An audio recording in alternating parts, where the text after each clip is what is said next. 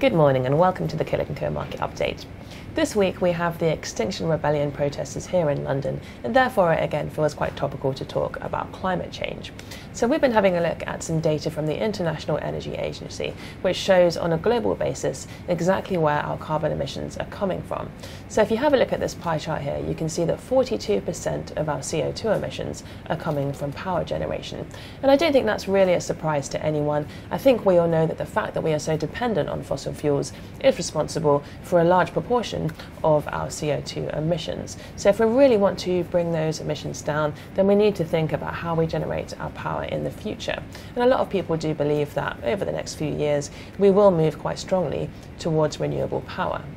If you have a look at the second chart here, you can see that that is starting to happen. So this chart shows the percentage of our power that's coming from certain sources, and it goes all the way back to the 1800s. And you can see from this that we've already had two quite major energy transitions. So initially we were quite dependent on biofuels for 100% of our power. Then throughout the 1800s, we started to become more dependent on coal.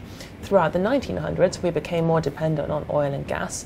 And now if you have a look at those little pink bars on the chart, you can see that some renewable power is starting to creep in, and it looks as though that's very much on an uphill trend. Now, some of this renewable power is coming from new energy startups in the wind and solar spaces, but a lot of it is also coming from the energy majors like BP and Shell, who are starting to move away from traditional fossil fuels towards renewable power. And that's really something we expect to see a lot more of in the future.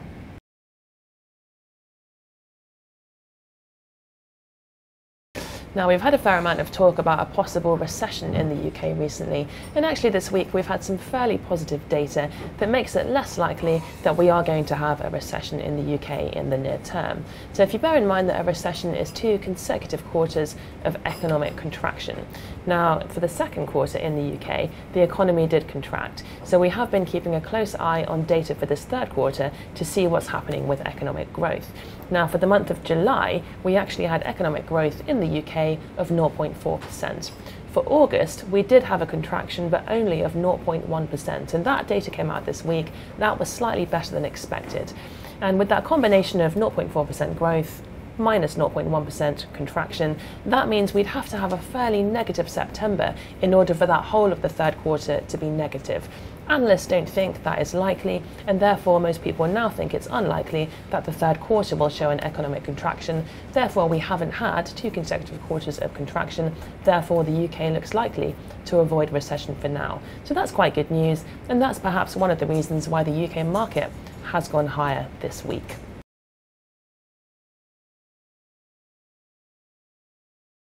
And finally, this week, there does seem to be a sense of renewed optimism regarding the trade talks between the US and China. Next week, there are scheduled to be tariff increases on $250 billion worth of exports going from China into the US. Trump is planning on raising the tariff rate from 25% to 30%. However, ahead of that planned increase in tariffs, the US and China do appear to be engaging in talks this week. Now, it seems unlikely that we are going to have a complete comprehensive trade deal covering all the specified issues such as intellectual property rights. But some analysts do believe it's looking more likely that we will have some kind of partial deal and that perhaps that will enable us to not have the increase in tariffs that are scheduled to go ahead this week. So the optimism around these trade talks has caused the markets to go higher this week. So you will have seen that the S&P 500 and also markets across Asia have moved slightly higher this week. So over the next couple of weeks we will be keeping a close eye on the progress of these trade talks. Now, looking ahead to corporate reporting next week, it's looking fairly busier on the financial calendar. It's quite a big week for healthcare next week, and we have got results coming out from Johnson & Johnson, United Health, and Abbott Laboratories.